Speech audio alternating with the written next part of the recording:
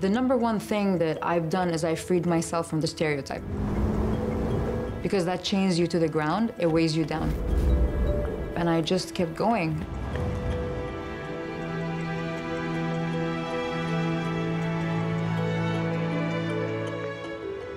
My name is Sara Al Madani. I'm a serial entrepreneur.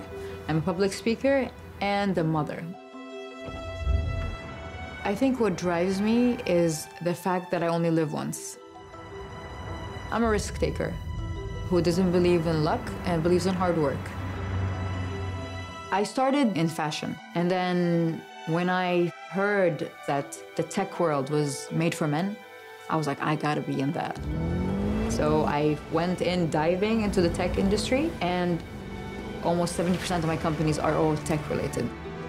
I want to be that tech entrepreneur that sticks with their ethics. And we need more of these in the world. You have to serve from your heart, whatever you do. So being a leader is about, you know, being in touch with your emotional side. The more emotionally intelligent you are, the better the leader you are. A manager is someone who's just rational and has zero emotions. A leader is a person that realizes that there should be a balance between being rational and being emotional. You stand out when you don't surrender and submit to the fact that we all have to be similar. Unchain yourself from the chains society put around you. You have the right to be happy, you have the right to be free.